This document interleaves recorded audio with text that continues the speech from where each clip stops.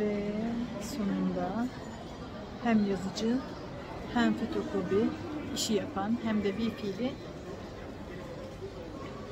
HP marka makinamı aldım. Yazıcımı aldım. Şimdi bunun adı yazıcı fotokopici mi deniyor?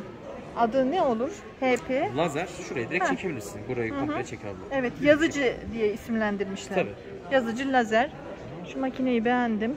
Tek başına e, telefonsuz fotokopi çekebiliyor. Tabii. Ama 200 mü yok dedin? İki tarafına Çift taraflı baskısı yok. çift taraflı baskısı yok. Hızı bir dakikada 20 Ee, 20 sayfa. 20 sayfa. Aynen.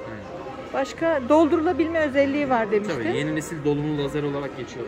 Basit mi onu doldurması? Tabii basit. Nasıl? Gösterebilir misin? Yani aldım diyelim. Şurayı açıyorsun, mürekkebini buraya şeyini e, Tozunu. tozunu buraya dolduruyorsun. Zaten onun kendi e, aparatında var girecek yeri şuraya. Ha. Direkt dolduruyorsunuz.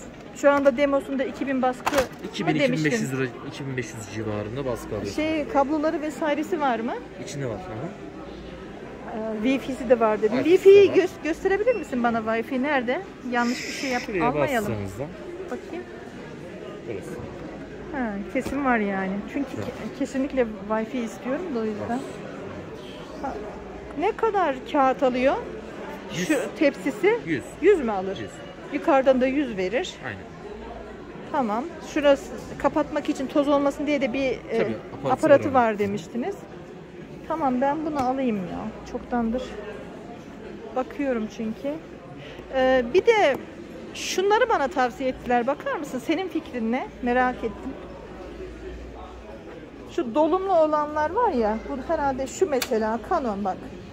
Bununla kıyaslarsak bu nasıl bir şey? Ee, bunlar tanklı modeller. Tamam. Yani e, örnek veriyorum sen evine alıyorsun. Evine demeyelim de ofisine. lazer ofisine. daha avantajlı. Lazer mi? Tabii. Bunun ne dezavantajı? Donma kuruma yapar bunlar. Ha, İşte baskı sayısı yavaş, baskı kalitesi biraz daha düşüktür. daha yavaş. Bunlarda da ben hızlı görmüştüm ama hangisiydi ki? Bunlarda hızlı yok. Hiç mi yok? En fazla 8-9. O çok yavaş. Şu da e, ş- kartuşlu. Bunlar kartuşlu. Bunun da tipini beğendim ama 200 sayfada kartuş bitiyormuş. Kartuş fiyatı 150 lira. bu toner kitini aldığımda da 239 lira verirsem 4000 baskı yapabiliyor. Evet. 4000 baskı yapabiliyor. Bunu sonra alalım inşallah. 2000 baskı şimdilik yetsin bize. Bunun fiyatını sordum 260 lira. Demek ki bunlar da 300 küsürdür. Benim gözüm onlarda kaldı. Onlar da herhalde 500 lira falandır. Ne güzelsiniz.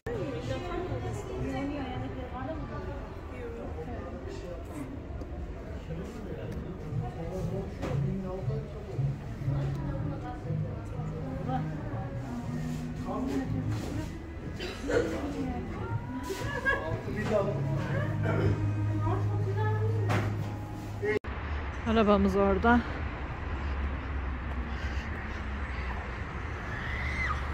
Aa çocuğa bak. Çarptı resmen. Ama demek ki eğlenceli olsun diye yapmışlar onu öyle.